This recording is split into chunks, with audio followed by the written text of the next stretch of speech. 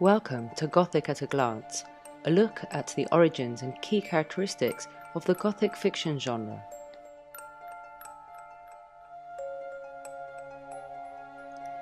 What comes to mind when you hear the word Gothic? Do you think of crumbling castles, the candlelit corridors haunted by unhappy ghosts, or do you picture creatures of macabre face and form, like Frankenstein's ill fated monster? The Gothic comprises all these and many more.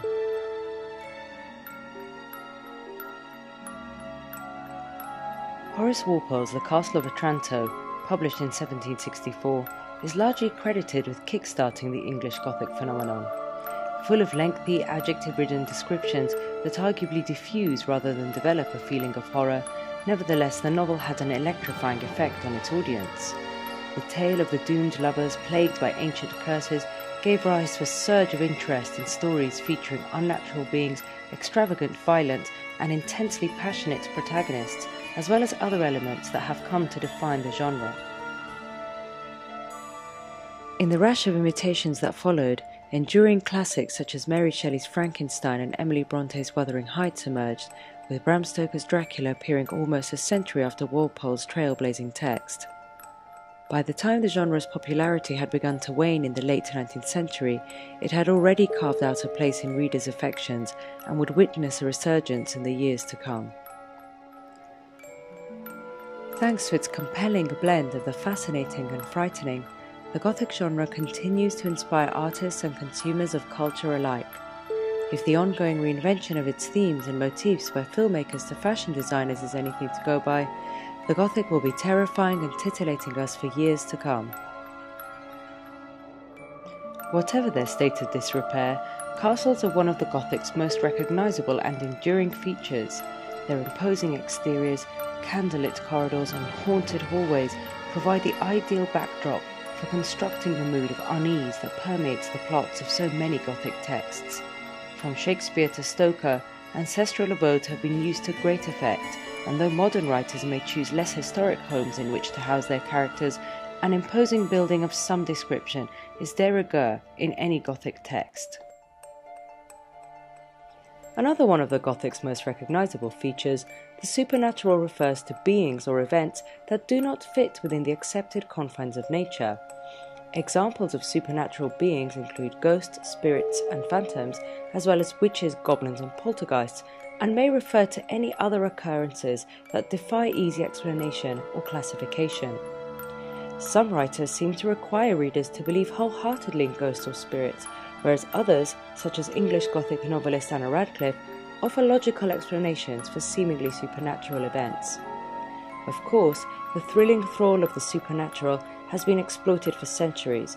For example, pre Gothic texts such as Macbeth included witches, and Christopher Marlowe's Dr. Faustus, the devil himself.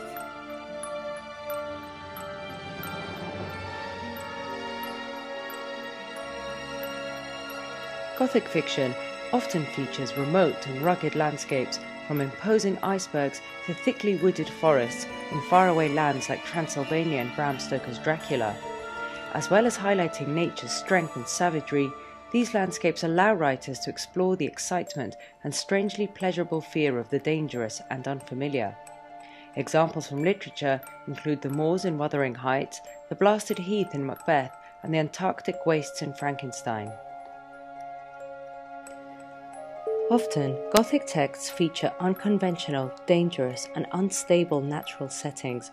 For example, the moors and inhospitable weather of Wuthering Heights.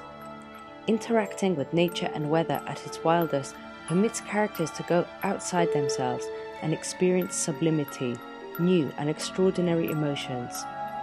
The sublime also allows writers to explore the nature and boundaries of pleasure itself challenging previously uncontested definitions of enjoyment and how it is derived. Metonymy is a literary device whereby one thing is used to stand in for another. Extreme or poor weather is a typical use of metonymy in Gothic novels. Dramatic weather conditions such as rain and thunder, storms, blizzards, and wind are used to exaggerate and highlight the emotional intensity of characters as well as lending tension to the plot. Other instances of metonymy can include clanking chains, howling dogs, the scraping of knives, and locked doors, all of which create and communicate an atmosphere of suspense and foreboding in the reader. Gothic texts are very much concerned with extremes, including emotional and psychological. Gothic protagonists frequently experience and give rise to excessive feelings such as rage, passion, terror, madness, lust, and sorrow. Writers will utilize language techniques such as vivid and disturbing similes and metaphors, powerful verbs and adjectives, as well as alliteration and sibilance to augment the impact of the emotions being described. This overblown emotional lexicon also serves to create a volatile, unsettling mood that helps to build tension and anxiety in the reader.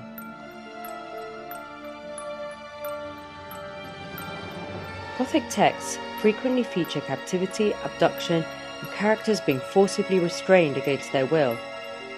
Jonathan Harker is imprisoned by Count Dracula, and Lockwood, the narrator of Wuthering Heights, spends a harrowing night in a coffin like casement.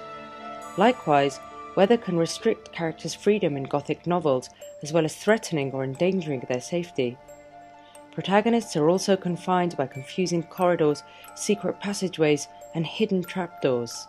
In Gothic texts, the past exerts a continuous, at times violent influence on the present, frequently disrupting or unbalancing protagonists' lives. For example, the doorway to Wuthering Heights is engraved with the legend Hareton Earnshaw 1500, reminding visitors and readers alike of the past's ongoing significance. Ghosts exemplify this ideal perfectly. They should not exist in the present, and the fact that they do creates confusion, fear, and horror for the living. Additional discomfort is created because often Gothic texts transport their modern protagonists and readers back to an archaic, often unsettling place in time. Critics have noted that in Gothic fiction, women are often portrayed as vulnerable and dominated by violent, powerful men. Some writers have used this dynamic to explore and criticize patriarchal society and the position of women in the 18th and 19th centuries. For example, Isabella Linton in Wuthering Heights is cruelly dominated, legally, emotionally, and physically by Heathcliff. Nevertheless, some female protagonists do appear to exert power over male characters, Catherine Earnshaw, for example, holds sway over Heathcliff both during their lives and after her death.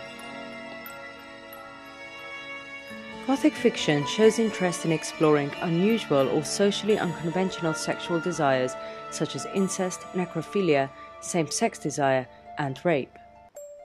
Exploring these impulses may allow writers to delve into emotional and sexual realms not normally discussed in everyday life. Furthermore, female protagonists can be portrayed as sexually powerful and confident, a threat to male characters and the status quo they represent. This departure from society's norms and the boundaries of acceptability in literature no doubt provide the genre with illicit and therefore added appeal. Gothic texts commonly appear during or are inspired by times of social upheaval. In the late 17th and 18th century, Events such as the French Revolution in 1789 toppled accepted socio religious norms. Horrific acts perpetrated during this upheaval fed into the often grotesque violence found in many Gothic novels. In addition, important scientific advances were being made, such as Galvani's early experiments into electricity. Mary Shelley, for instance, explored the ramifications of such discoveries in Frankenstein in which a scientist brings to life a being comprised of different body parts. Gothic novels tend to feature recurring themes, events, and characters. Emily Bronte's Wuthering Heights, for example, includes a mother and daughter with the same name, Catherine, who share, to some extent, parallel lives. It also features two distinct yet comparable houses, Wuthering Heights and Thrushcross Grange, a device that serves to highlight both differences and similarities of their inhabitants. This doubling may be in part due to the Gothic's ongoing preoccupation with the past and the complex, often subtle ways it continues to affect the present lives of its protagonists. Coined by the father of psychoanalysis Sigmund Freud, the uncanny refers to something seemingly new that nevertheless transports us to an event or emotion in our own past or harks back to a bygone era. In Gothic texts, this is explored by including situations or characters that may appear unfamiliar at first but are soon revealed to be known or recognized by the characters, producing an uneasy or even frightening effect. Examples include waxworks dolls and vampires, and may include supernatural beings or events, which are then revealed to not be supernatural at all.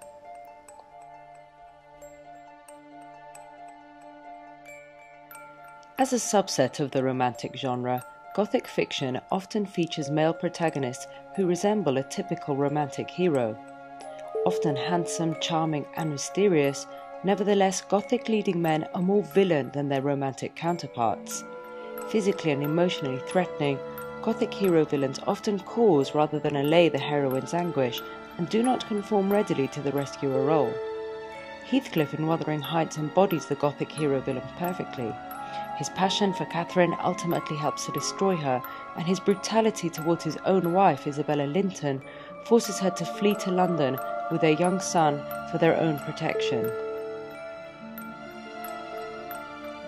Thank you for watching Gothic at a Glance. I hope you found this presentation useful. Please feel free to leave any comments or feedback on my page. Thank you.